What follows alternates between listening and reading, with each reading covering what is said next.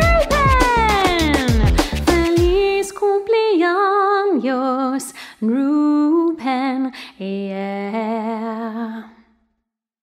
One happy birthday dot com.